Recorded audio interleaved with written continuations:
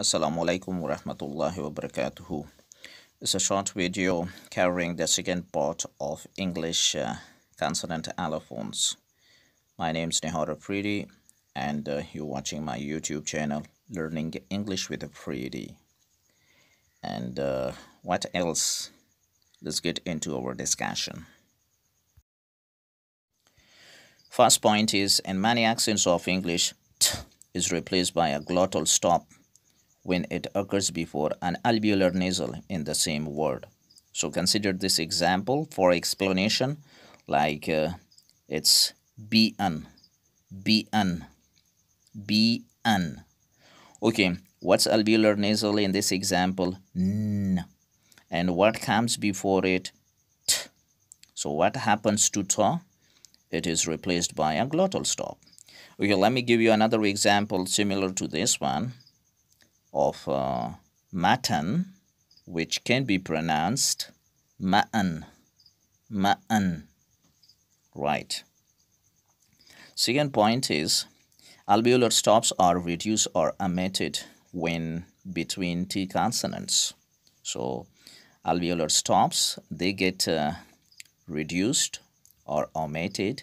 It means they don't have pronunciation when they come in between two consonants. Consider these two examples.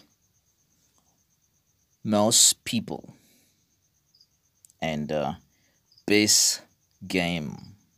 Okay, consider the pronunciation of ta in the first example.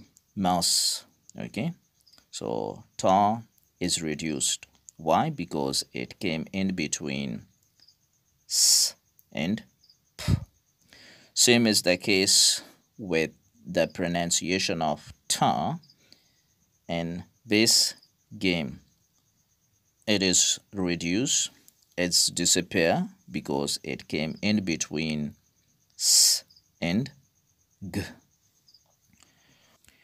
Okay, third point is the gestures for consecutive stops overlap so that stops are unexploded when they occur before another stop. It means when two stop sounds coming together, then the first stop sound doesn't have full explosion, okay, which is the criteria for plosive consonants. Consider these two examples, apt and rubbed. Okay, and apt p and t.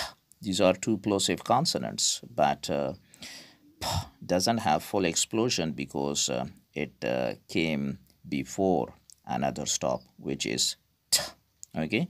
And t has full explosion. Same is the case with rubbed where ba doesn't have full explosion whereas d has full explosion.